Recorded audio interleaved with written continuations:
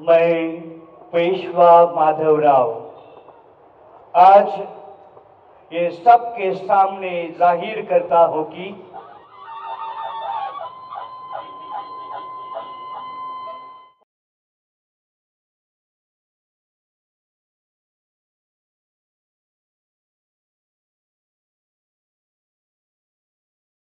Pune the word brings different thoughts to different people For the older generation, it is a retiree's paradise with cool climate and a green cover for long walks leading to longer life.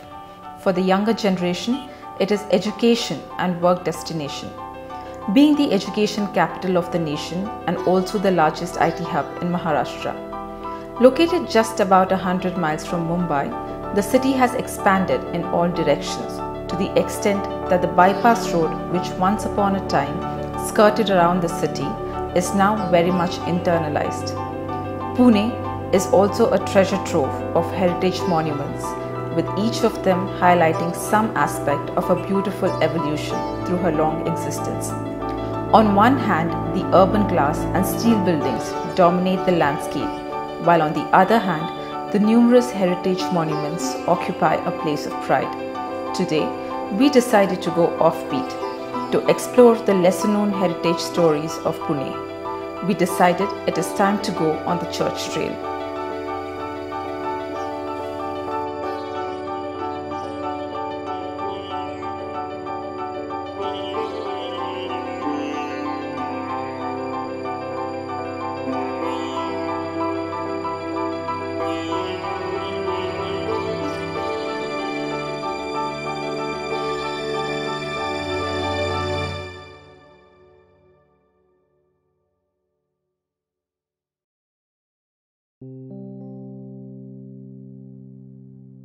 And when the strife is fierce, the warfare long, steals on the ear the distant triumph song, and hearts are brave again, and arms are strong. These beautiful lines from For All the Saints by William How resonate as we come face to face with the vintage heritage monument. Bishop Thomas Carr consecrated Christ Church at Khadki in 1837 not just the land on which the church was built, but the church itself was owned by the British East India Company Army. While on the church trail, this is our first halt, but on the sands of time, Christ Church was the fifth church to have been established in Pune. The church was essentially a garrison church to meet the spiritual needs of the soldiers of a colonial power based in the distant Oriental outpost everything around points towards the garrison influence. The floor was made up of stone blocks to withstand the heavy military jackboots. Above the north door, there is a balcony where once upon a time a military band used to play. The British set up uh, churches like this. The one here, St. Paul's in camp, and then uh, St. Mary's in uh, camp again. These were original garrison churches where the troops mainly would come to worship. Now, in our church, the peculiar thing was we had the general officer in command of the southern command, that is after independence, and then just prior to independence, when the two formations were made. We also have uh, pews, pews are benches with slots for the rifles. You had the governor, governor of Bombay, then coming in and worshipping here. So you had a place reserved for him. There are brass plaques showing you know that okay this place is reserved for so and so, this place is reserved for so and so. That way. Built in the Gothic tradition, the church has a slanting red roof, the regimental colours of the 23rd Bombay Native Infantry. In deference to the wishes of the Indian Army, the church handed over the colours of the Marine Battalion In to the Bombay Engineering Group. It was uh, taken down under the ceremony. There was a big march past, and we gave it to the BEG, Bombay Engineering Group. It is lying uh, in state with them. They have refurbished it, and they have got it, uh, you know, set back to look more or less natural and the original. And now we have just the pictures of it. About three decades since the original structure had been constructed, a new structure was required to accommodate the increase in the number of faithful. The new church was formally consecrated on October 29, 1869, but its anniversary is celebrated on November 1st. It was also rechristened to All Saints Church. No one knows why. When Prince Charles came about two, three years back, we, I personally went and met him, gave him this brochure which we made, this brochure we gave him, and then after that uh, I told him, so he said, okay, I'll look into it, but then nothing has come. The altar at the church is classically simple. The huge stained glass window above, weighing about a ton, has three panels depicting his birth, death, and resurrection. There are no images on the altar, but a simple wooden cross that symbolizes his presence. Wooden panel work was undertaken in 1935 under chaplain F.E. Dacitor in commemoration of King George V's ascension to the throne. The congregation hall is surprisingly a bit asymmetrical, as just before the altar, on the right side, we have the balcony, above the north main door, while on the left side, we have tall arches. Even the bell in the All Saints Church is from a bygone era. Installed in 1845, it weighs nearly half a ton and is made of cast brass. The bell is fixed in the tower at a height of approximately 45 feet and can be heard from quite a distance, even in today's noisy world. More than 2000 baptisms were done in this church and similar number of marriages and deaths have been registered here. Today, these records are priceless. In fact, we get many visitors from the UK who have been baptized here in 1924 elderly ladies now and they you know they break down when they see your name i mean they were small babies in arms one unknowingly ends up praying for the church itself that may this beautiful place continue its glorious heritage for the future generations to come and marvel. One can spend the whole day here admiring the stones in black but then this is just the first halt in our church trail for the day.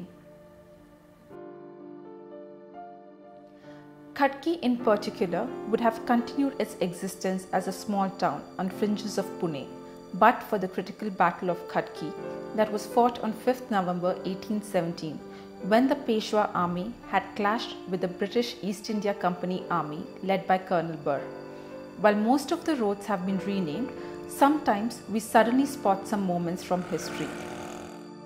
The beginning of the 16th century witnessed some significant events like in 1510, Alfonso de Albuquerque defeated Bijapur to capture Goa and he received a congratulatory message from his strategic partner Krishnadeva Raya. In 1517, Martin Luther nailed the 95 Theses on a closed church door in Germany to open an intra-faith debate. In 1526, Babur defeated Lodi at Panipat and in the following year at Khanwa, he defeated the man who had invited him but had later backed out. And somewhere around the same time in Granada, a young Spaniard encountered a Moor who questioned his religion. The skilled swordsman that he was, the matter was settled in a swift duel. The dots connect across space and time in a rather random way in the small town of Khadki. Some two decades after that duel, the fancy musketeer became superior general of the most feared elite troops made of todo el que quiera militar para Dios, whoever desires to serve as a soldier of God.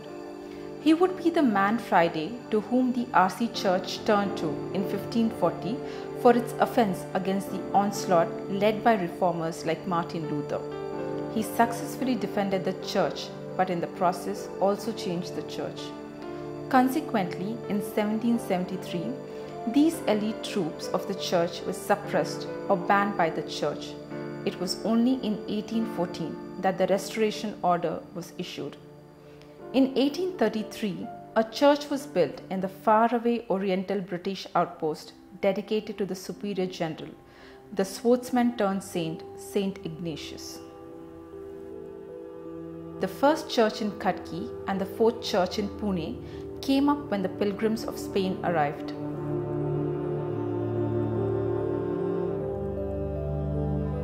Like most Jesuit churches, this too is a simple structure with a large pillared congregation hall, leading up to the altar where a large image of Jesus is seen through a rosary. The morning prayers are conducted daily at 6:30 hours and by 7:30 hours most of the faithfuls go back to their daily business. We met a bunch of school kids from the adjoining St. Joseph School run by the church who were very enthusiastic about visiting the church. At the entrance of the main congregation hall, instead of the usual baptistry, we find the confession curtains on either side of the door.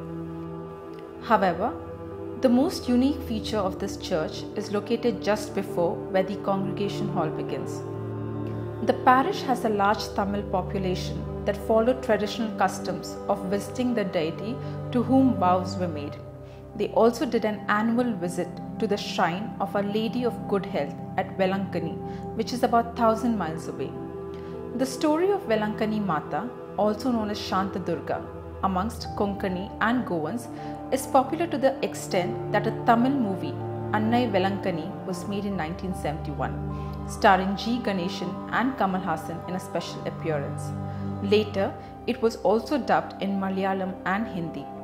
It is the only place where one can see Mother Mary draped in a sari.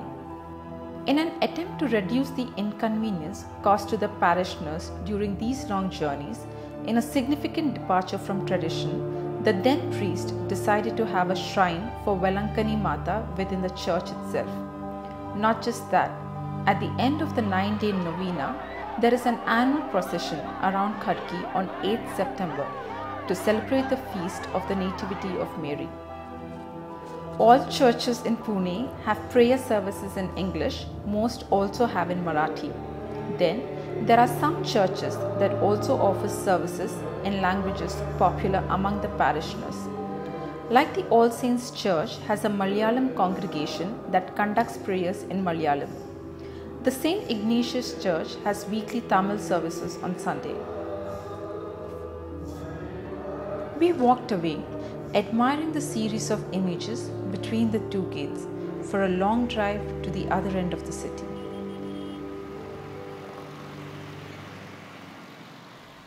Our next stop, located on the diagonally opposite side of the city, is probably the most critical parish, not just in Pune, but in the country. Although the city has spread far and wide, our next host did not find the geography to be so big. Comparing to other dioceses, Pune is one of the smallest dioceses. But other parishes where I worked, Mumbai, Mangalore, more than 150 odd parishes. Pune is a small parish, small diocese. Networking is rather easy for the bishop as well as the VG. In the mid 19th century, the Jesuit missionaries objected to the recently converted Marathi Christians' insistence on continuing with their age old Indian customs like wearing Mangal Sutra. Even in social sciences, the third law applies there was a strong resistance from the local population to the stance taken by the Jesuits. This clash manifested in other regions also. Sometime later, Narayan Vaman Tilak, also a recent convert and a priest, with thunder Pack up your belongings and be gone if you do not love the sacred land. Insistence by the missionaries risked not just the already converted but also future evangelism. Worse, it could have caused political disruption for the rulers. There was a problem. The church structure in itself is new. Probably it is the youngest in Pune. The father gave a brief history and summary for us. This was a small chapel at a Papal Seminary just behind under the, the guidance of the Sacred Heart Parish run by the Don Bosco Fathers at Yerwada. However, the history and the role of the church goes far back. Faced with a big problem, a strategic decision was taken to identify and train priests from among the native population as they would be more familiar with the customs and traditions instead of the expat missionaries. Besides, of course, there was a huge demand for priests. It required another decision to open a training center or, as it is called, Papal Seminary in India. India, at that point of time, also included present day Sri Lanka. At the inauguration in 1893, Pope Leo XIII declared solemnly, Filitui India administri tibi salutis. Your own sons, O India, will be the heralds of your salvation.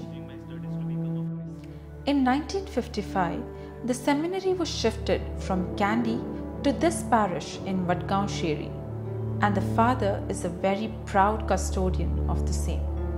The seminary has produced almost 100 bishops and quite a few cardinals.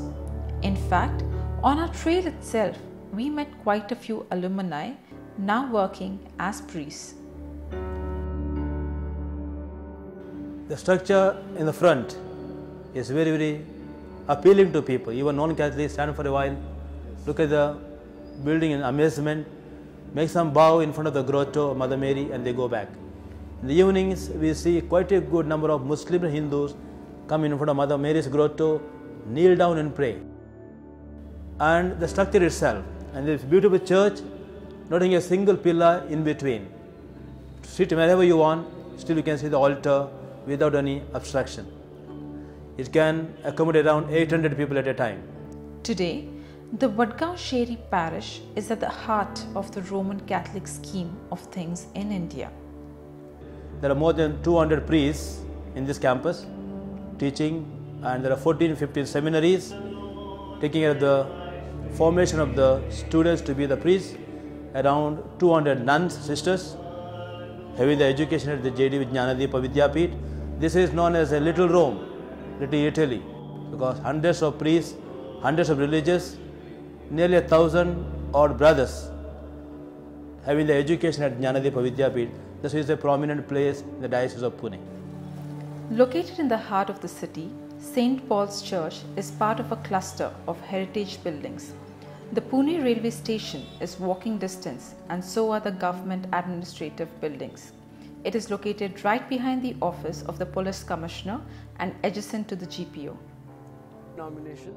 There was already one church in the Pune area and that was St. Mary's Church, which is a garrison church for the British soldiers.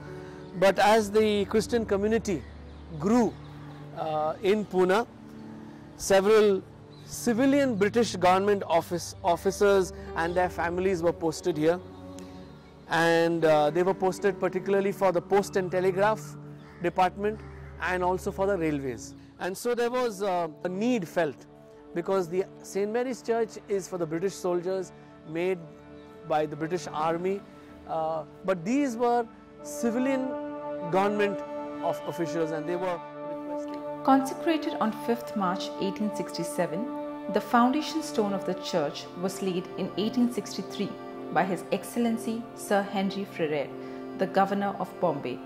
It is designed on the lines of French Sainte-Chapelle in Paris.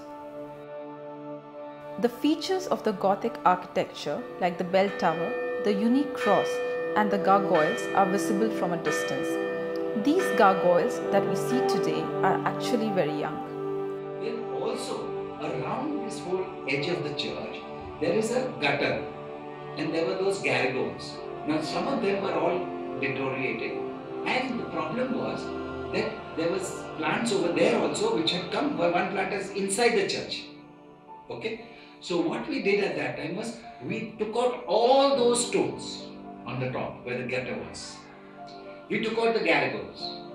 We made all new ones with a bigger throat. All those gargoyles were redone according to those old ones, put in the same format and all that. The porch was made after the church was ready to facilitate the movement of the gentry during stormy monsoon times. Gentlemen could drive right to the main gate. Uh, as you enter the church, uh, we have here uh, one chapel.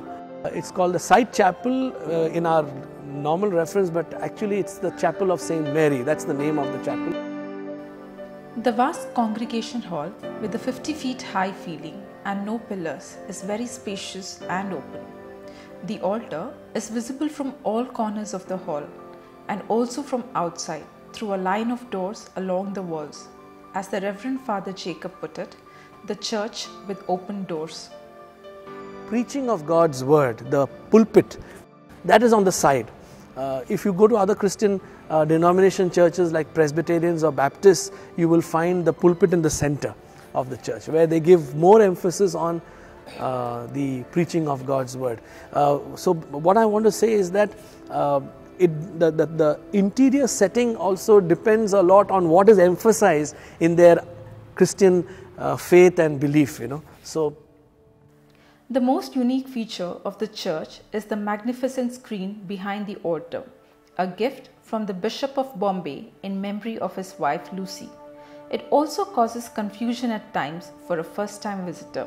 Another beautiful thing we see at the altar, which is an ornamental screen uh, at the back of the altar, which is called a reredos. Uh, it's made of marble, and above the reredos is a beautiful uh, stained glass, two stained glass windows, uh, one depicting the resurrection of Jesus, of Christ, and the other depicting the ascension of Christ. The reredos also uh, this ornamental screen made of marble also depicts the ascension of Christ. But uh, basically, this is just to enhance the beauty of the place of worship. It is to enhance uh, the, uh, uh, the, the, the, the awe of the mystery of our faith and our worship of God. So, The original stained glass windows melted in the fire of 1900. The current windows were put up as part of the restoration. the stained glass windows. So, I think one of the most beautiful. You can even, if you go closer, you can see even the veins uh, on the body. Uh, you can see the intricate details.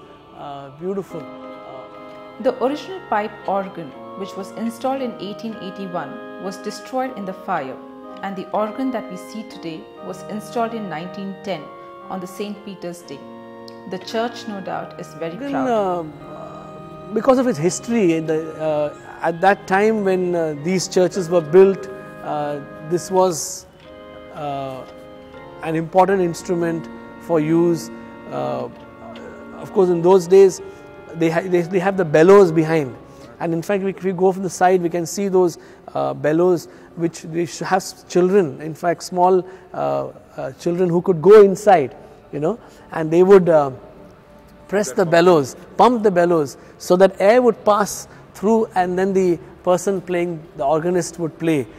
So, Today, it is probably the only church in Pune with a live working pipe organ, which provides a melodious start for the services, even though it is not working at full potential, as a few pipes have been sent to England for repairs. Fires are not uncommon in Pune. Even the house of God is not spared.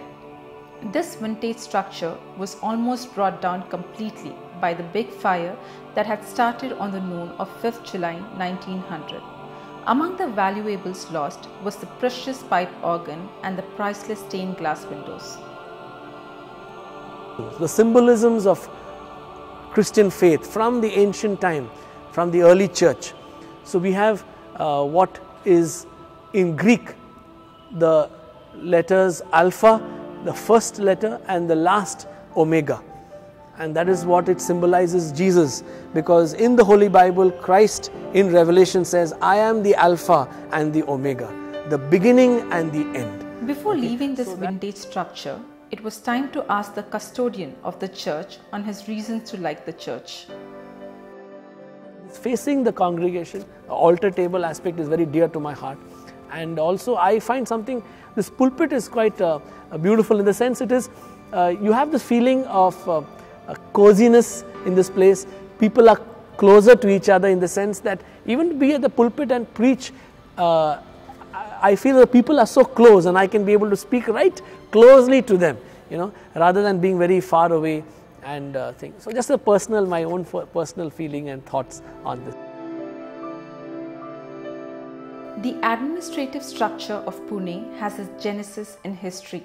A large geography is managed by the Pune Municipal Corporation, but then there is an equally large geography under the Pune Cantonment Board and the Khadki Cantonment Board. An entire new city, PCMC, covering the industrial areas of Pimpri and Chinchwad also came up on the way. The next halt was the mother church, the the cathedral on the Prince of Wales Drive. The road from St. Paul's Church to St. Patrick's Cathedral traverses through the PMC area and the PCB area across a large number of military establishments. As we arrive at the cathedral, we are also at the end of the cantonment area. When it was established, uh, and then as you will know, there was nothing here as such. Some years back, Hadapsar was sort of a dead end. The cathedral is dedicated to the man who was taken to Ireland as a slave, escaped from slavery, discovered religion, and then went back to Ireland to seek revenge against cruelty. As the story goes, he eventually became the patron saint and the national identity of Ireland. If you go to Ireland and if you see Ireland, every second church or every every church is named Saint Patrick. So, uh, so the very fact that this is Saint Patrick's speaks volumes. Okay, that Saint Patrick is the patron, and uh, in fact, uh, that's the spirit of this of this this thing. It's Irish. Uh, the whole the thing is is, is there. The connect with with Ireland is through Saint Patrick. That's the first thing. Of this, the spirit of Ireland is here. Accidents and fires, in particular, have struck various churches in Pune. St. Patrick's also has seen tragedies. After the church was moved from Wanowrie to Prince of Wales Drive, the first Mass was conducted on 8th December 1850 by Father Sheehan. Ten days later, he died. Some 134 years later, on the night of 15 July 1984, the roof of the cathedral collapsed. It destroyed quite a lot. The anguish is felt in the voice of the Father. The old choir, that angelic singing, the whole, the altar facade, the inside of the church was full of wood. And it was a beautiful, beautiful feeling to be there to worship. When you entered, you would, you would be lost in that the, the architecture and the in interiors that was done so beautifully. The intrinsic beauty of the place lies in the multitude of charity activities done. One such is the Ministry of Prisons. The helpless poor who find themselves caught in the intricate web of law get relief from the Ministry of Prison run by the cathedral as it works with inmates languishing in prisons for a speedy, fair trial. But something that is outstanding of here is like no matter where I go, the first thing is when will I be back into my parish? When will I be back here? So there's a big connect here. Uh, like when I, as I mentioned to you in 84, when I came here first and now. So this place I have seen grow in leaps and bounds compared to other parishes. And it's not the, the structure what I'm talking about, but it's the people and their attitude. I've seen the spiritual growth, I've seen their social growth, I've seen their financial progress, and it's so nice to see that the people are so warm, they are welcoming, they are hospitable, uh, they are taking up challenges, and so many of the uh, people they come to help out so you don't feel a strain, you don't feel a burden that uh, I have to do everything. People are there to help us for everything, any initiative that you take. So that's one uh, the the most beautiful part of this cathedral. And one of the nice things what we I what I constantly hear from people of other faiths when I interact with them, they say, Father, इधर बहुत shanti milta hai. I feel happy, I feel proud, and I feel blessed to be the head of such a parish.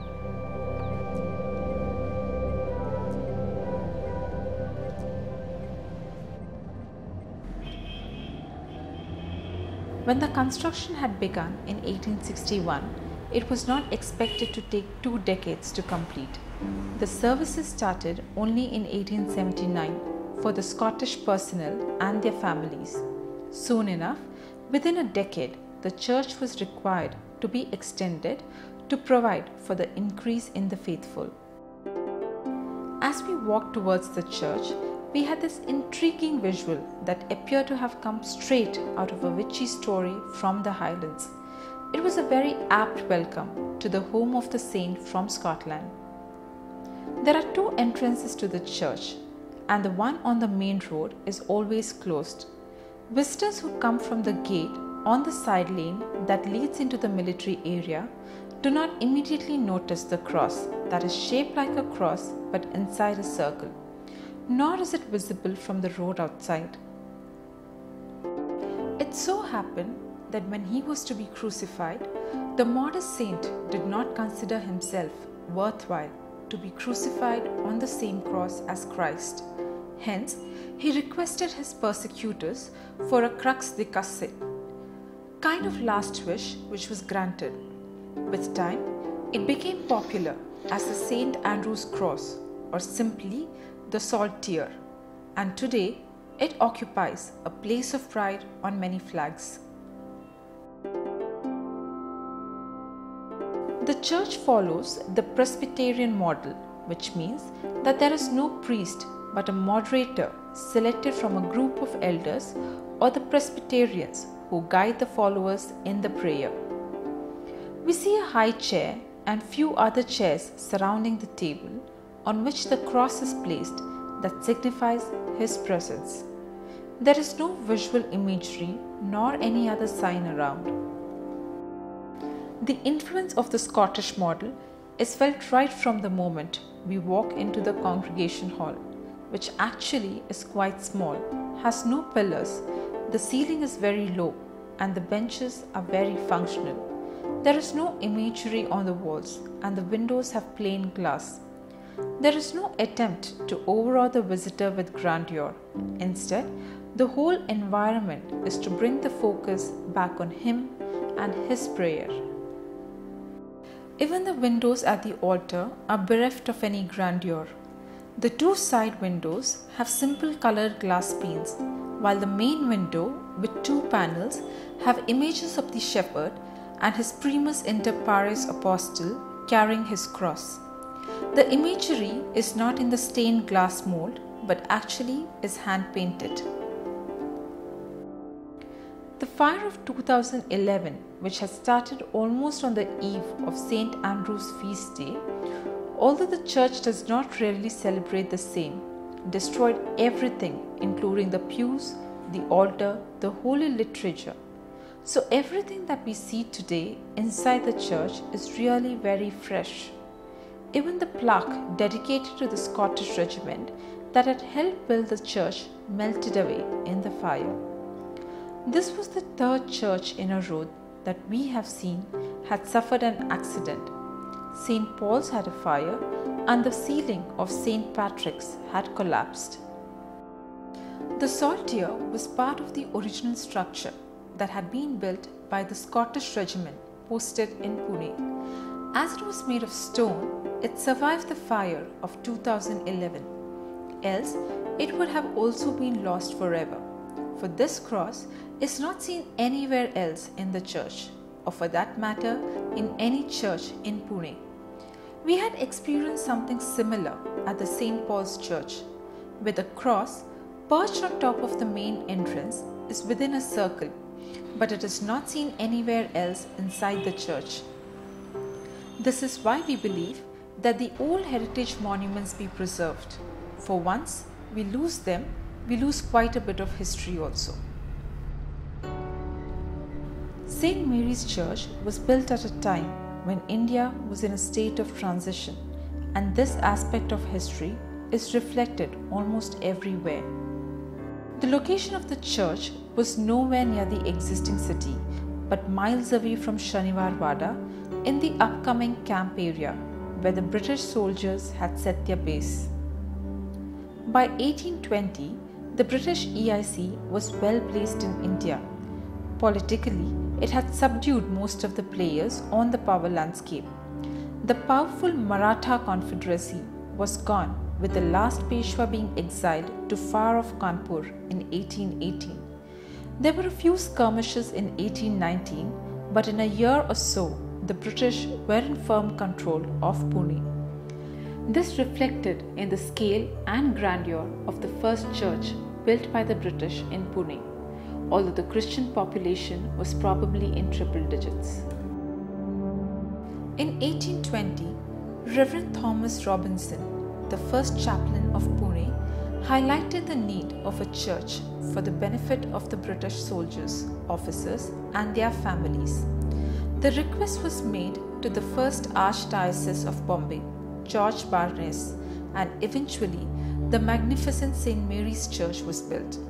It was consecrated on 3rd July 1825. The large congregation hall with imposing circular pillars, the cross shaped design of the hall, the high altar table, the stained glass windows behind the altar, the large windows designed to provide natural ventilation in the hot Deccan summers, everything reflected confidence of an assertive colonial power. The church was designed to reflect its position as the mother church of Deccan. Like the All Saints Church, even St. Mary's Church has priceless records of births and baptistry for almost two centuries. People come from far and wide to have a look at these records. For most of us, these are dusty old papers that would crumble on a touch, but for some, these are simply priceless. Europeans come to our church. The reason is they are looking for the old records. So we have the records of for the past 200 years. They want to see their great grandparents' name there in that record. They were baptized, or they were confirmed here, or they were buried here. So they want to see their original signature, all that thing. So with that expectation, many people come here. Monthly, at least two or three guests. The proud possession of the church is the exquisite pipe organ right near the altar. It is absolutely imported to the extent that even the servicing is not done in India or by technicians from India. Being a garrison church, the place also has its military touch. The walls are lined up with plaques put up in memory of the dead soldiers. Like the All Saints Church, colors of different regiments were laid to rest here. Later on, after the political independence, Indian Army took the colors to Bangalore in 1979. The two blade fans line up the high ceiling. These fans are as old as the church and they still work. O Worship the King is a hymn that most of us have heard at some point or other. Sir Robert Grant was born in Birbhum district of West Bengal and died at Dapodi near Pune. He died while serving as governor of Bombay Presidency. A suburban railway station and a hospital built by the Tatas have been named after him. The father shared a rather lesser known detail about the man as we expressed our gratitude for his time and for the honor bestowed the governor of. Bombay, uh, Governor Robert, he was buried here. His grave is here in this church. In 1850, the St. Patrick's Church was moved from Wanowri to Prince of Wales Drive. However, residents on the west side of East Street still found the place to be far off. Even today, on a clear night, it takes about 15 minutes in an average car to cover the distance of 3 miles from Camp Market to St. Patrick's. Father Lieta, a Goan priest, had conducted the first mass in his bungalow near the East Street for the civilian residents in the neighborhood. Soon enough, on 14th October 1860, the foundation stone was laid. However, before the roof could be put up on the church, the venerable father died next year. It was a tragic story repeated from the St. Patrick's, where Father Sheehan had died within 10 days of the first Mass. The feast of Saint Xavier on 2nd December 1862 saw the first Mass amidst the walls. The construction was to be completed in 1864. The first train had travelled from Mumbai to Thane in 1853 and the network was being rolled out across the country. Universities were being opened. It was a glorious period as prosperity had arrived on the back of the cotton boom in Mumbai. The ugly walls of the Bombay fort had been brought down in 1860. Goddess Flora had been installed at Fountain. In Pune, The foundation stone of St. Andrew's Church was laid in 1861 and of St. Paul's Church in 1863. The St. Xavier's Church opened in 1864 for services in the gloriously Gothic structure made of black stone. The church is located on the St. Vincent Street and the parish office is actually in the premises of the St. Vincent Society. The neighborhood is filled by equally vintage educational institutions, with St. Vincent School being just a year younger than the church. Just like St. Mary's Church, St. Xavier's Church is also designed in the form of a cross with exquisite frescoes adorning the walls of the wings. The best part is the winter sunrise, which on specific days occurs exactly behind the stained glass windows of the altar. It creates optical magic inside the church. The long hall, the high ceiling, the woodwork all around, including on the ceiling, makes anyone feel dwarfed, with old paintings across on the walls depicting scenes from condemnation to resurrection. The prayers are held every morning at 6:30 a.m. and the faithful, mostly senior citizens, arrive dutifully even on cold winter mornings. For them, besides spiritual, it is also a social occasion.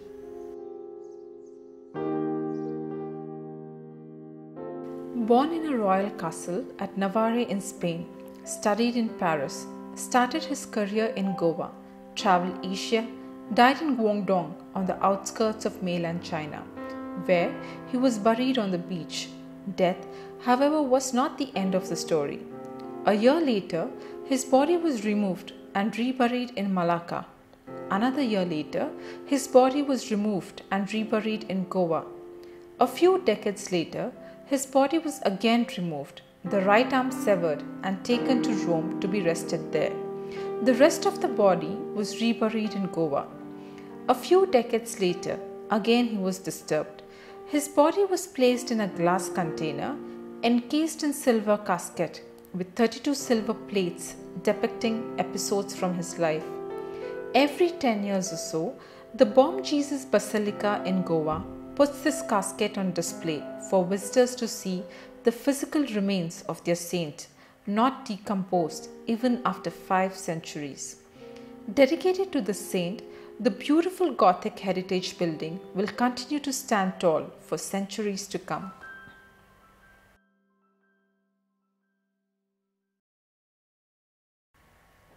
What we call the beginning is often the end, and to make an end is to make a beginning.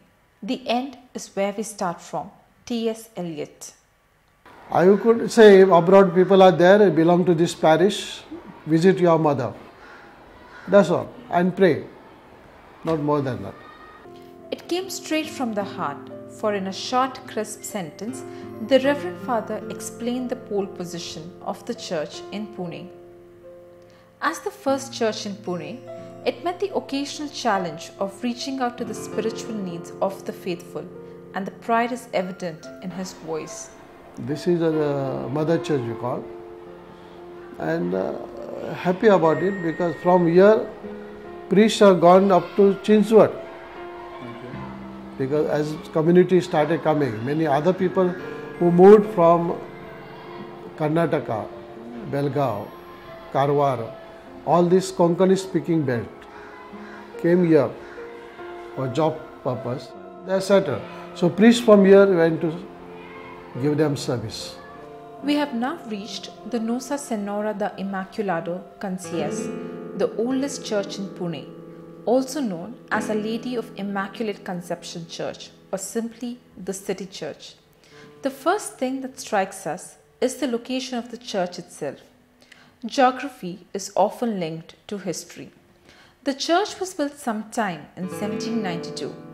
At that time, Pune city was probably one tenth its current geography. The church was to be built outside the gates of the city. The history of the church also decides the languages for services. While it was established for the Portuguese soldiers, Portuguese is not a language used for prayers. The church offers services in Marathi, English, and Konkani, and the kind father explained the reasons. So Pawala they got. They got tailors. So they bought their community as a to serve them. That means they were quite higher level people who came here and they were serving them. And, and to understand their language, it was more Konkan. On 8th December 2016, in a beautiful, well attended function, the church unveiled its 225th anniversary celebrations. In this long period, the outer physical appearance has undergone a significant makeover with multiple rounds of modifications. The size of a church is also dependent on the time when it was constructed. St. Patrick's, that came up in 1850, accommodates more than 1000 people, for there were as many devout followers in Pune at that time. But in 1792, the number of Christians in Pune were limited, probably in double digits, and that determined the size of the church that was built in 1792. Today, as we walk around, we see some signs of where the church started and where it ended. The staircase that at one point of time would have led the followers to the balcony now hits a dead end. Similarly, the bell, which is normally expected to be at the entrance, came closer to the altar as the church expanded. Another surprise we notice is that the bell has company too, bit uncommon in Pune, but quite common in Goa from where the bells came. Whenever we modify a heritage structure to meet the demands of time, a part of it dies, it is irreparably lost for the future generations. Probably, it may be a better idea to leave the existing structure as it is and build new structures to meet the development needs of a growing population. The loss was felt in the voice of the priest who started his career in this church and is set to retire from here. I think 62 onwards there are a lot of changes are taken place. The reason I do not know. They should have kept old uh, architectural uh, design that altar and whole facade. They should have kept, but unfortunately they destroyed and made modern one, new one, maybe f- suiting for that time. That is the sad part of this. The most beautiful aspect of this church, however, is no more visible.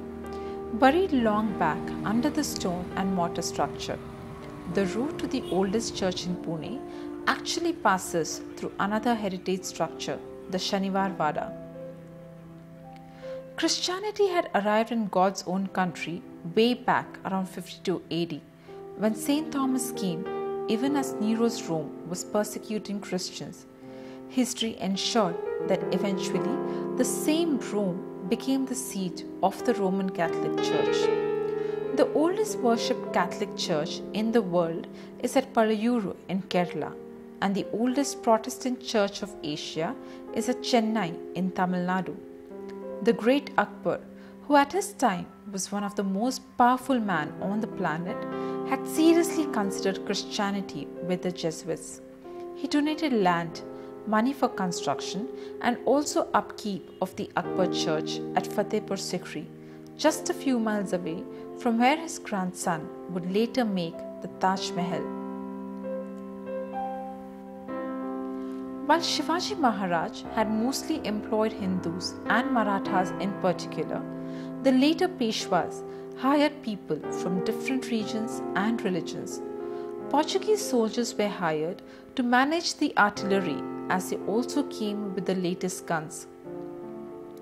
Christianity really came to Pune in 1792 when Peshwa Madhav Rao II donated land for the first church in Pune so as to meet the spiritual needs of the Catholic Portuguese soldiers in his army.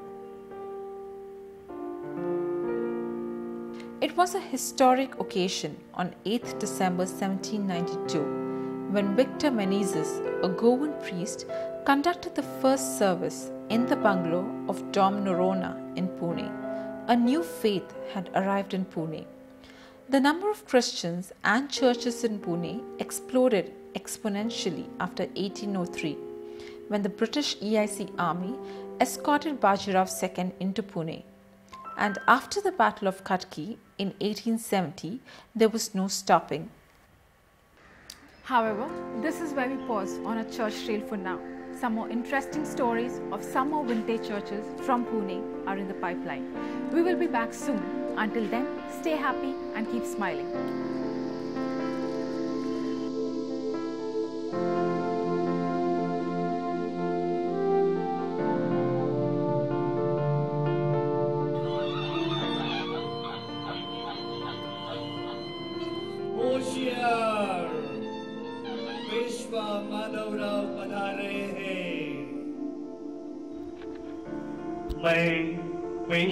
Madhavrao आज ये सबके सामने ज़ाहिर करता हूँ कि हमारी तरफ़ से यह ज़मीन हम तोहफे में हमारे ईसाई सैनिकों के लिए प्रदान करते हैं।